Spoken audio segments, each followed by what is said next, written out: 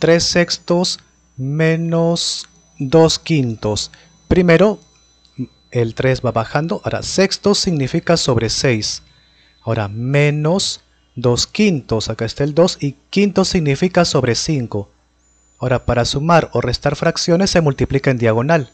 Primero esta diagonal. 3 por 5, 15. Baja el menos. Ahora 6 por 2, 12. Y ahora los de abajo.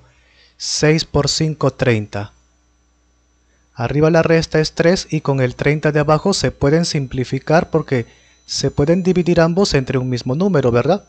Entre 3. 3 entre 3, 1 y 30 entre 3, 10.